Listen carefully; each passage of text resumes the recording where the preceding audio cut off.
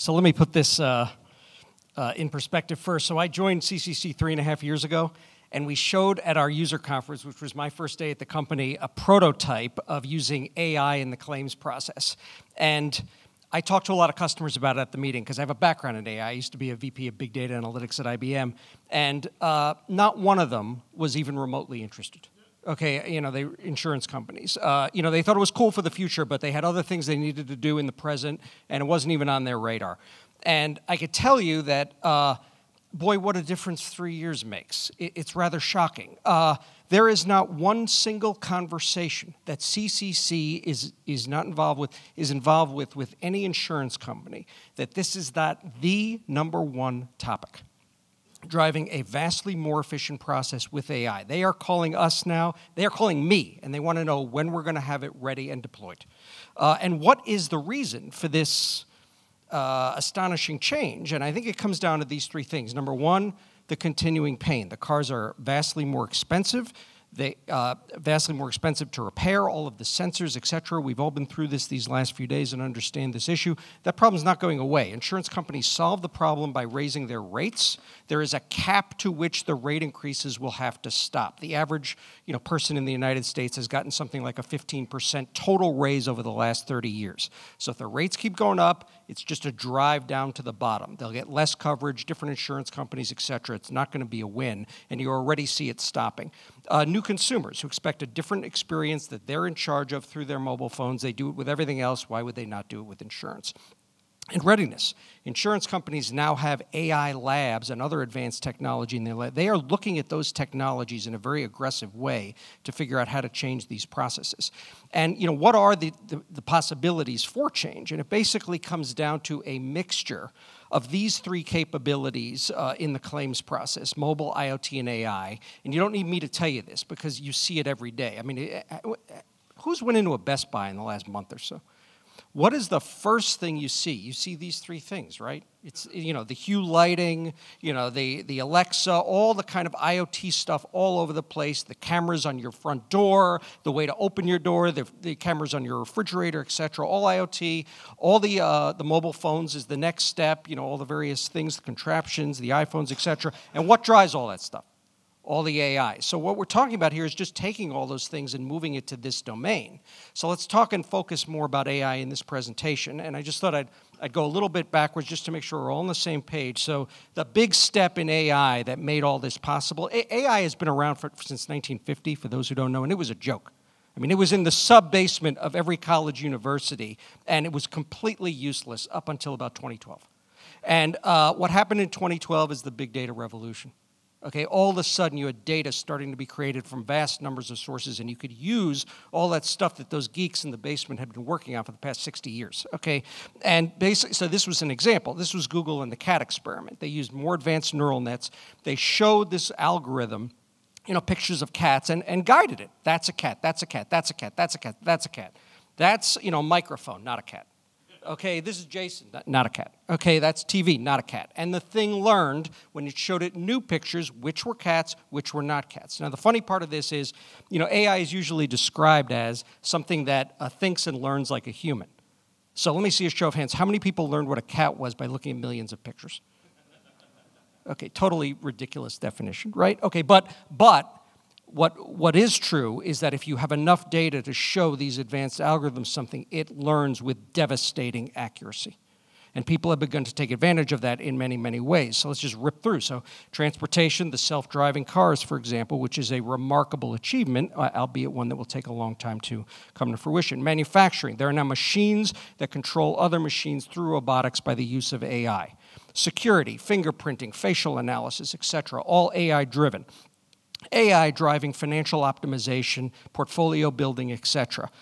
Medicine, okay, Watson Analytics. I actually toyed with that when I was back in IBM. So you show Watson Analytics MRIs, and it can recognize cancer at a rate that is the same or better than a human with similar rates of false positives. So, couple of, couple of things about this. Let me ask, uh, uh and how does it do it?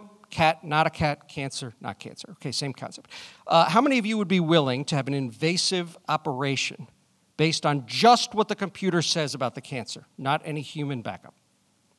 Zippo. And you're exactly right, I wouldn't either. Okay, keep that thought in mind because it has a very important subcontext for what we're doing in this industry. And beer, of course. Uh, beer sensors, for those who don't, beer uh, kegs, for those who don't know, are now heavily censored.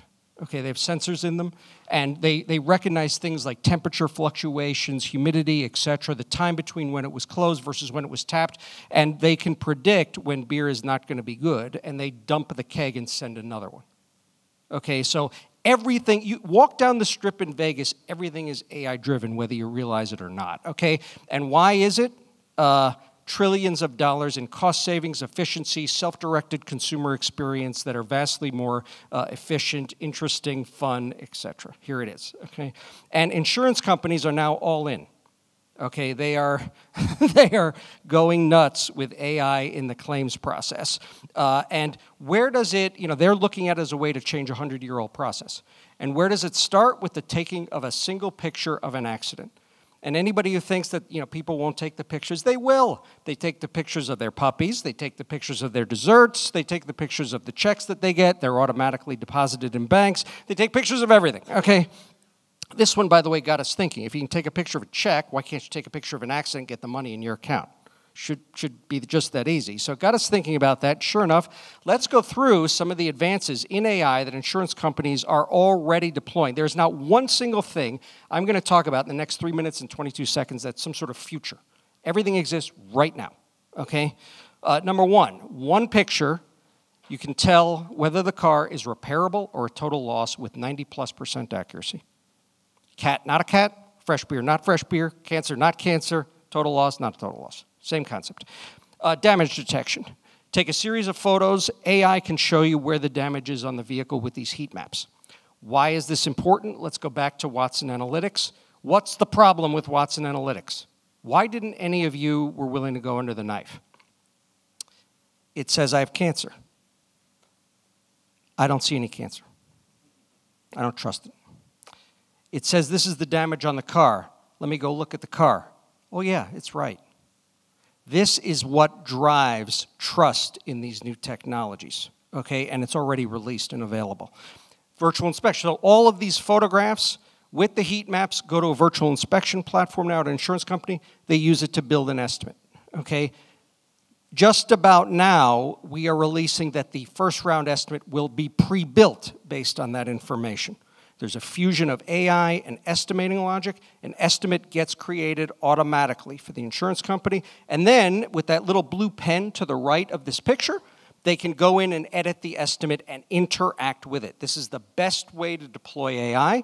AI takes care of a whole bunch of stuff, and you use the brilliance of the AI and the brilliance of experience of the human to get the most value out of the humans involved for the tougher cases.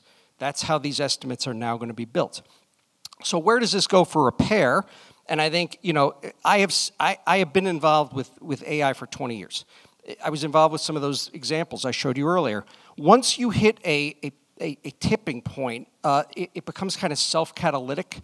It starts speeding up like wildfire. The industry is transformed. And three or five years later, you look back, and nobody can even believe it was done in a different way. And, and that's about where we are with this technology. And once it hits that, which is basically next year, I mean, I can't even describe to you how many insurance companies are already using pieces of this and testing the rest. It's going to start bleeding into other parts of the ecosystem. So that's where it's going to go to repair because you can get in repair the same value out of these technologies. Some of it was, was discussed even earlier. I mean, a car's in a crash. We can automatically detect in real time the car was in a crash. So you've got all the pixels on all of these images. You've got all the results of those, those sensors that are in DTC codes, etc. You have 5G networks coming along. That is a mother load of big data that is available instantly to eventually pre-order parts, pre-build repair plans, pre-build estimates. Sit in a room that's dark with a martini, with a lava lamp, and start thinking of how this can emerge. And you are going to be staggered. And here's the thing it's going to happen. Here we go. I've seen this movie too many times. We're about at that point. And I have nine seconds left, so I just want to thank you. Thank you.